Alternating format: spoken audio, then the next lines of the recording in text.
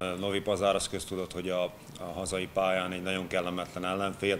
Össze ugye egy specifikus mérkőzést játszottunk velük, mert nyertünk 7-0-ra.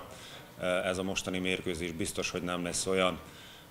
Akkor már 20 perc után 4-0-ra vezettünk, akkor az ellenfél talán el is veszítette az önbizalmát, illetve illetve utána később már a motivációját is, azóta azért jött hozzájuk egy jobb pár minőségi játékos, tehát most erősebb is játékos keretük nekik mind volt.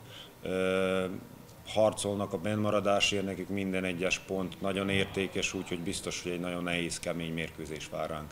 Teško gostovanje, iako su oni u donjem delu tabele, teško gostovanje nas čeka tamo izuzetno dobra ekipa kada igra kod kuće, ofanzivna, mislim da treba da budemo pametni, čvrsti kao do sada i to je to.